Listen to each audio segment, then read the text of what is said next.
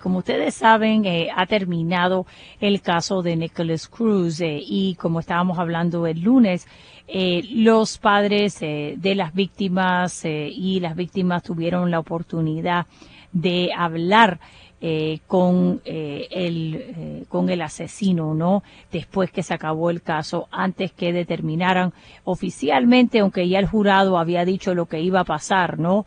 que se va a pasar la vida en la cárcel.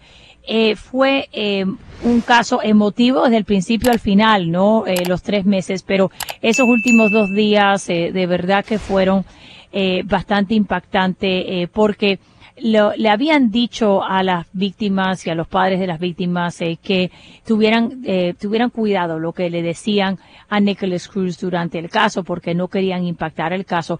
Pero después eh, que el jurado determinó lo que iba a pasar, ya ellos se podían decir todo lo que querían decir y de verdad que fue muy emotivo para muchos de ellos.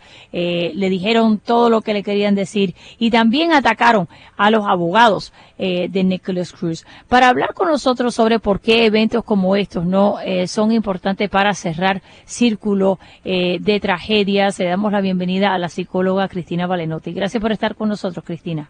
El placer es mío, Raquel. Bueno, eh, este caso de Nicholas Cruz yo creo que es un buen ejemplo de esto, pero eh, hay muchos otros ejemplos, ¿no? Eh, de por qué las personas tienen que tener ese momento para cerrar ese capítulo de su vida. Hay un libro que yo siempre se las recomiendo a las personas muy bueno que se llama Necessary Endings, que está dedicado exclusivamente, ¿no?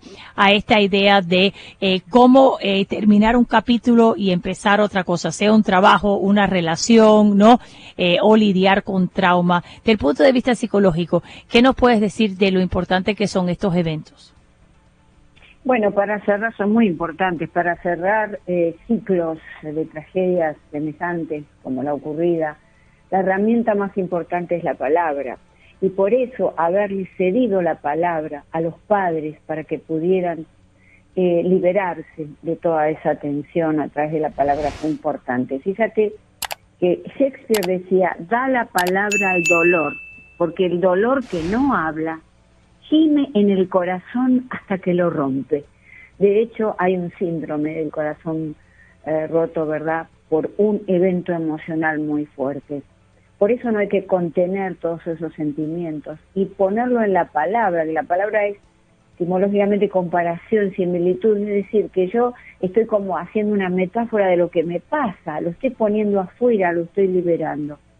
Y esto de dar la palabra al dolor se puede analizar eh, y se inscribe dentro de dos formas de expresión. Primero la verbalización eh, a través del duelo.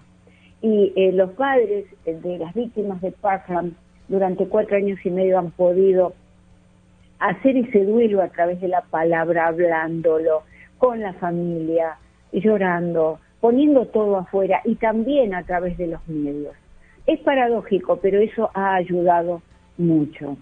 Y la otra forma de expresión es la catarsis emocional. ¿Qué es lo que sucedió justamente una vez concluido el juicio? Eh, catarsis significa limpieza, liberación, y es algo tan importante que ya lo conocía Aristóteles, ¿no? Que y él le decía que era una purificación eh, del alma.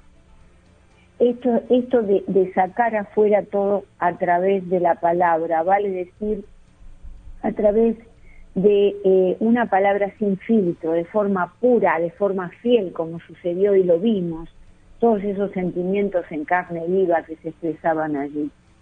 Entonces, eh, es importante porque porque hay una serie de beneficios y por eso, eh, a tal punto que poner en la palabra el dolor, eh, más allá de, su valor lingüístico, tiene un valor psicoterapéutico muy grande. De hecho, ¿no? Se va a psicoterapia para poder poner la palabra los conflictos internos. Y los beneficios en este caso, para poder cerrar este ciclo, es eh, ayuda a limpiar la mente. Vale decir que cuando yo pongo afuera mis sentimientos terribles, mi dolor, eh, se me limpia la mente. Eh, la pongo en orden, reorganizo y resignifico lo ocurrido. Quizá esto no es inmediato, pero el hecho de haberlo hablado nos despierta sentimientos nuevos y una resignificación de esa tragedia ocurrida. Acá hay dos puntos importantes. Esto de, lo que hicieron fue tan importante porque evita trasladar la emoción al cuerpo y nos enfermamos. Eh, si nos quedamos con todo eso que como padres le hemos querido decir en la cara a este individuo, eh, nos podemos enfermar. Habíamos hablado en otro programa, eh, el cáncer, ¿no? como tres años después que aparece como producto de, eh, de un trauma muy grande.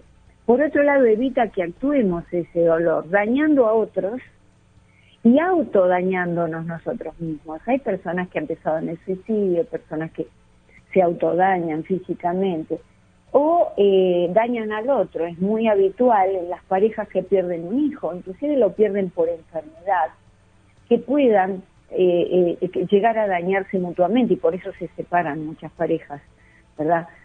Porque empieza ese, esa especie de confrontación que no es buena para ninguno de las personas en cuestión. Por eso yo creo que sí, que genuinamente en este caso eh, han podido eh, comenzar a cerrar este ciclo si es que no lo han cerrado ya, sentir esa cosa, ese clic interior en que yo termino con esto, voy cerrando las etapas del duelo, ya estoy en la aceptación y finalmente continúo la vida, ¿verdad? Porque así debe ser.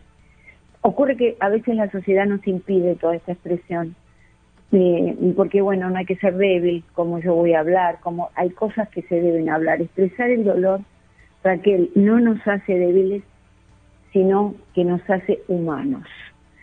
Eh, la expresión más eh, grande de humanidad que hemos visto con estas eh, padres ha sido sin duda eh, sobre el final del juicio, Raquel. Claro. Claro. Bueno, para la persona que mencionaste algo eh, que, es importante y más yo creo que en la cultura hispana eh, te enseñan desde pequeño, ¿no? De no hablar sobre esos dolores, de no confrontar a las personas. También hay personas que su personalidad no le gusta la confrontación. Por supuesto, hay personas que son un poco más eh, tímidas, pero justamente por eso debemos tener cuidado con la crianza, porque en definitiva nosotros sabemos ya cuando son chiquitos nuestros hijos si van a ser eh, un poco más extravertidos o si van a ser introvertidos. Entonces, todo eso debemos eh, prestarle atención y enseñarle a expresar las emociones desde muy pequeños. Hay muchos ejercicios para expresar las emociones con los, con los niños.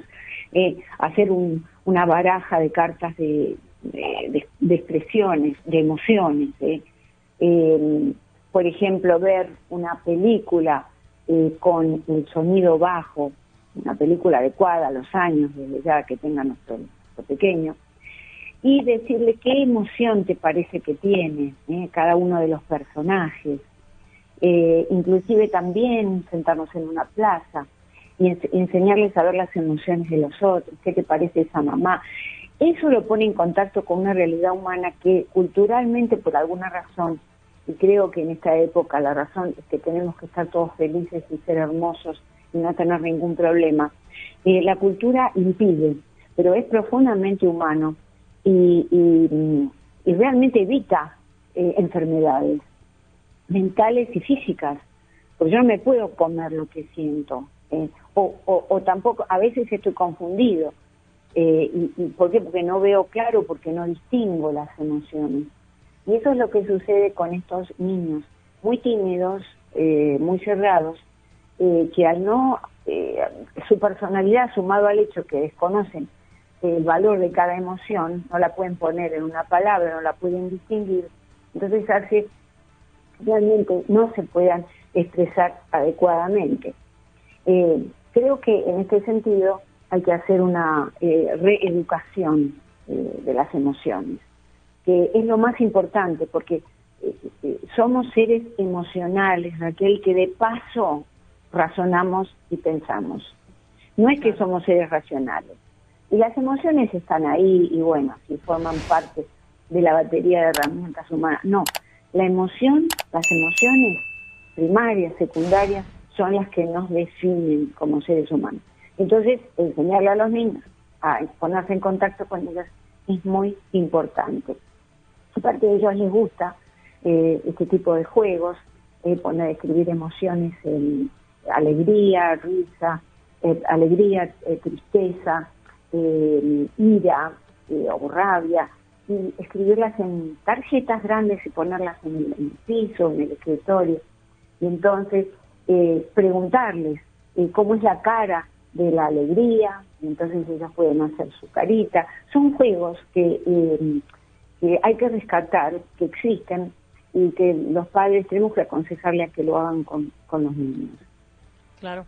Bueno, Cristina, eh, gracias por esa información. Eh, para las personas que nos están escuchando, eh, que se quieran comunicar contigo, ¿cuál es la manera más fácil de hacerlo?